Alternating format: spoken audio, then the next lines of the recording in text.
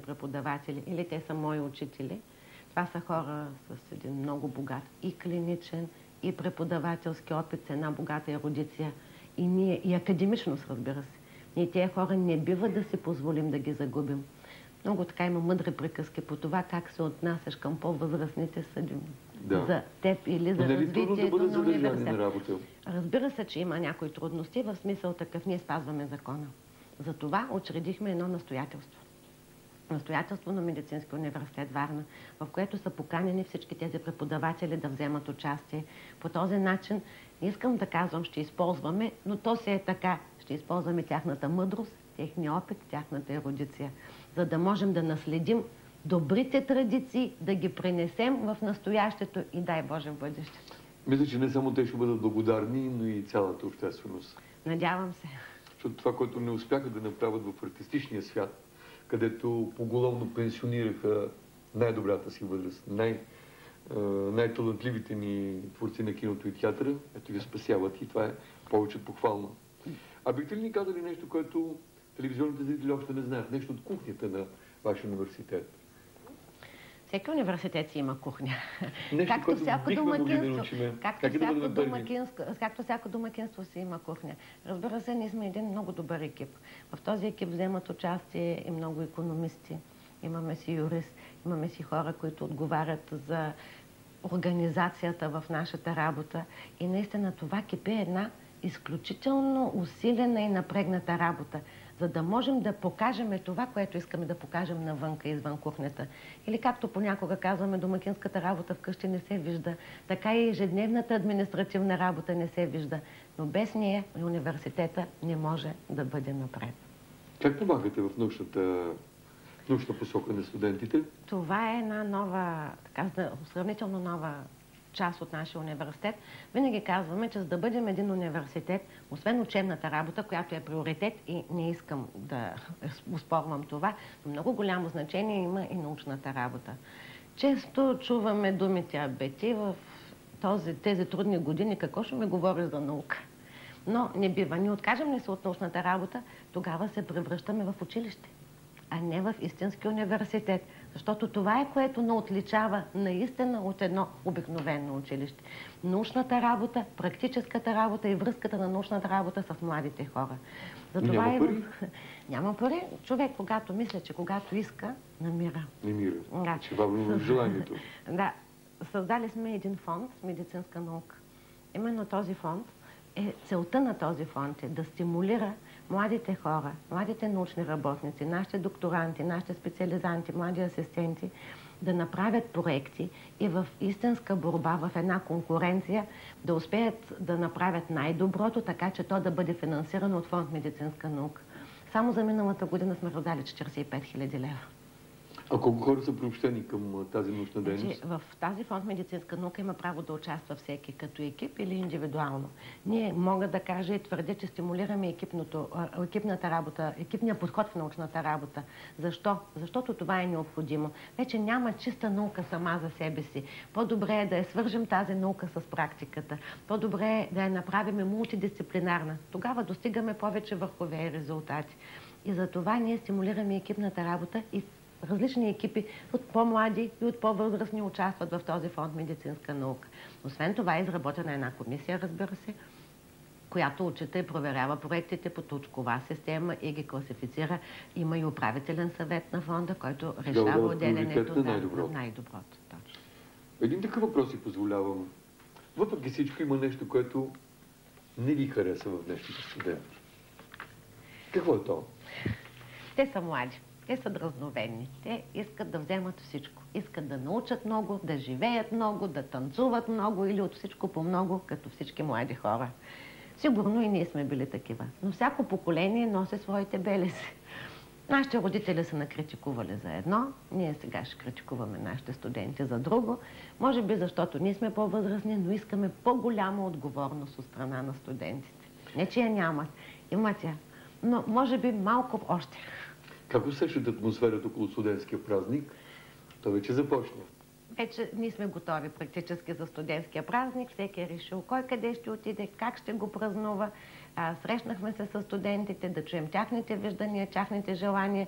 Наши представители бяха на срещата в, с кмета вчера с студентите. Имахме академичен съвет специално за обсъждане на студентското положение в чест на 8 декември, защото един празник е и за празнуване, но идват и дни на равносметка, когато имаме такъв празник. Или какво сме успяли ние за тази година с нашите студенти? Кое е доброто, къде са ни минусите и какво бихме могли да направим още? Освен това, празничната атмосфера се чувства и в преподавателите. Мога да кажа, че ние всяка година с нашите студенти, като студенти, изживяваме празник. значи бариерата не е вдигната. Не. И все пак къде ще празнуват студентите от медицинския университет? Студенти от медицинския университет ще празнуват на различни места. Може би защото Компактна сме... маса няма да имат общ бал. Не, може би повечето е по групи и по курсове, като голямото желание на нашите студенти е да отидат на планина. Може би защото тук нямаме планина. Други от Пловдив, например, ще дойдат на морето. Това също е така. Ние се събираме с преподаватели, които също ще отпразнуваме 8 Сега си правя моята, моята въртичка, моето стъпление и моето откровение. И аз съм бил студент. като много други. Но като си спомним какво правихме ние като студенти, беше прообщаване на всички курсове, от първи до пети курс, с всички преподаватели. И това беше вечер на строителния институт. Бяхме в салоните на Балкан. Сега... Какво стана Балкан? Не знам много ти ми на, на хотела. Също съм. И приятното беше това, че ние видяхме по-голямите студенти. Винаги имаше някаква банда, като музиканти от самия институт. С самите му конкурси, с а, самите почерпки беше повече от хубаво приобщаване. Това е нашия институт, нашия бал. А сега прави ми впечатление, че ако се отварна, ходят на други края на България. Така е. Дори знам, че в Сандански ходят. Не говоря за Пампорово, за Пирин, за Витуша. И то по групички, по групички. Това не е студентски празник за мен.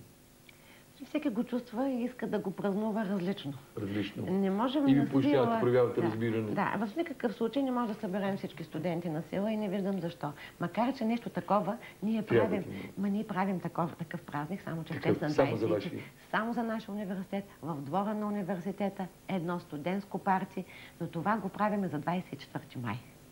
Такава традиция има в нашия университет, заедно с всички преподаватели, за всички студенти, дори идват и специализанти. Добре. Не в личен план, или още можем да говорим, всъщност колко много неща може да кажем за медицински университет, по същото време върви, Много, върви, само върви. нещо много важно искам да кажа за университета, защото наистина е важно и е гордо за нас. Аз преди, точно преди промоцията, петъка се върнах от Брюксел, пред Европейската комисия защитавахме проект, в който участва нашия университет. И съм горда и щастлива, че успяхме да го осъществим този проект. Той беше съвместно с гърците, към нас включиха и французи и италианци. Това е проекта за трансплантация. За трансплантация на Да, какво?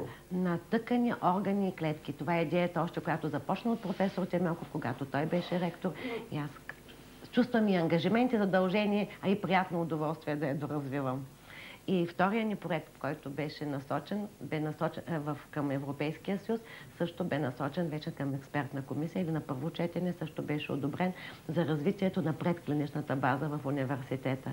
Това беше гордо за нас да бъдем поканени пред комисия в Европейския съюз и нашия университет вече е член на Европейската асоциация на университетите. Повече от похвално и приятно да го споделите. Исках да го кажа за празника. Казахте го, това пък аз си позволявам от името на телевизионната дитва да кажа честито. Благодаря ви. И никакво стъпление. Господин Темалков е вдигнал летвата много високо, вие трябва да продължите още по-високо да вдигате.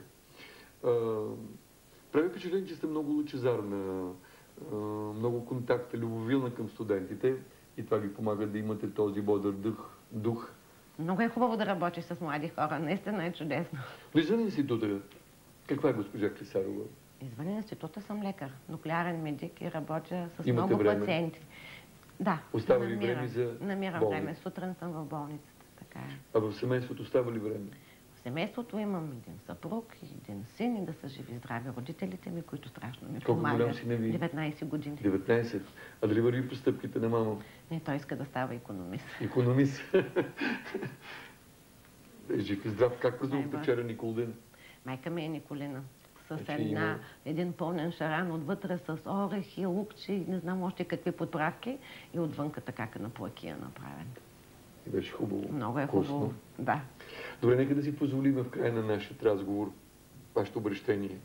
Хиляда поводи. Не само студентски празник, който идва. Аз, може би, първо и най-много искам да поздравя студентите. Мили студенти, бъдете ми живи, здрави, все така млади, все така силни, все така дразновени, с много-много късмет. И също така, мили преподаватели, няма бивши студенти. Ние, щом сме са студентите и ние сме студенти. И вие останете все така ангажирани към нашия университет. Винаги заедно, за да можем да успеем да повишим нивото на Медицински университет Варна. Благодаря на всички за упорития труд и за упоритата работа. Късмет на всички. Ето, студентски ритъм, признание и пожелания на ректора на Медицинският университет доктор Параскев Стоянов, доцент доктор Анелия Кисар. Благодаря. И аз ви благодаря. Весел